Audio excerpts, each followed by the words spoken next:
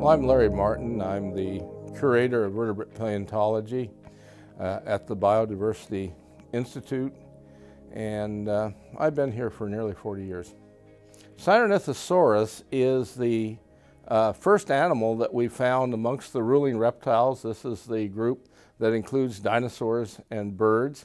It's the first one of these that we've seen relatively clear evidence that it actually was venomous. They had uh, big grooves on the outside of the teeth, and there was a funny canal above the tooth row that connected with a pocket on the side of the face.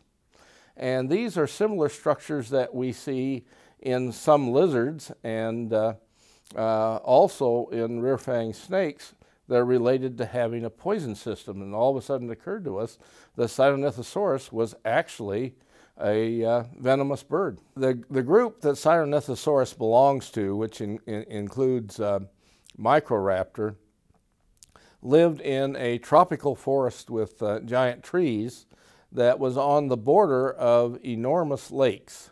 And the fossils actually come out of the lakes but the animals were probably all living up in the trees. There were a lot of primitive birds with limited powers of flight, and uh, what they do is they land on a tree trunk and then climb up the tree trunk, actually get altitude, take off again. And we think that Sinornithosaurus would either scramble up the tree trunk or maybe glide behind the bird and land on the tree trunk, and then scuttle on up after this climbing bird and uh, grab it from behind. It would be probably a big surprise for the, the bird. The uh, poison would be really helpful because that means that the animal wouldn't be struggling. Sinornithosaurus has these really long teeth. The venom delivery teeth actually uh, make the animal look saber-toothed. And that's probably because when you're biting something that's covered with feathers, it's kind of hard just to get through the feathers and get to the skin and we suspect that that's the reason that these are probably really specialized predators for animals that had feathers. What it means is that venom is likely to be uh, very primitive amongst perhaps all the diapsid reptiles.